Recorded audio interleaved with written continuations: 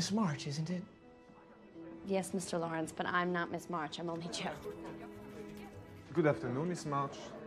A friend of mine desired me to offer a story by her. She she wrote it. She'd be glad to write more if this suits. Not a first attempt, I take it.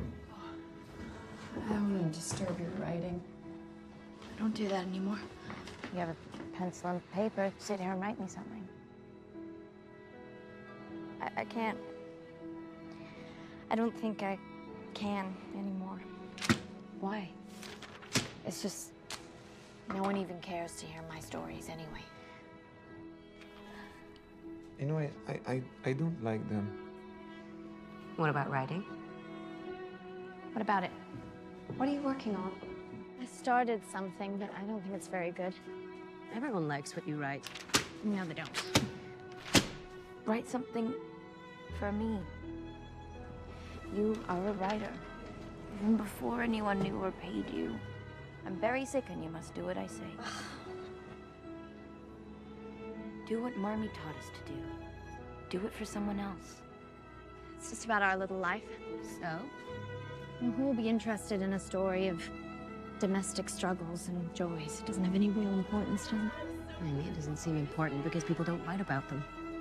No, writing doesn't confer importance. It reflects it. I don't think so.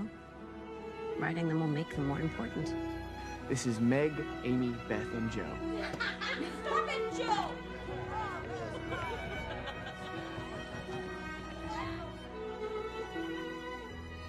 Dear Mr. Dashwood, enclosed are the first few chapters of a piece I've only begun working on. It could suit as a story for young people, but I think it is probably quite boring. However, I'm sending it to you just in case it has something of value, though I doubt it. Jo March. What is it? I don't know. I've always been quite content with my family. Don't understand it. Perhaps, um, perhaps I was too quick in turning him down. Laurie. Do you love it?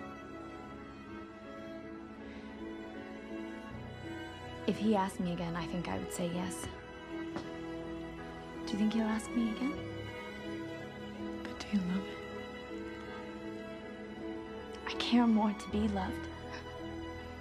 I want to be loved. That is not the same as loving. You know, I just, I just feel, I just feel like women, they, have minds and they have souls as well as just hearts.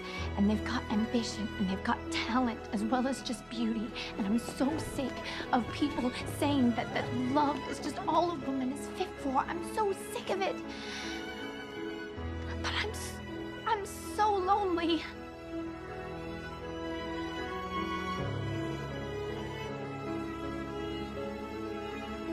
Do you miss him?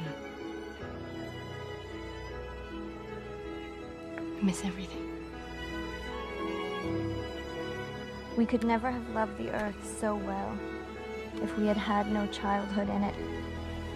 If it were not the earth where the same flowers come up again every spring that we used to gather with our tiny fingers, what novelty is worth that sweet monotony, where everything is known and loved because it is known?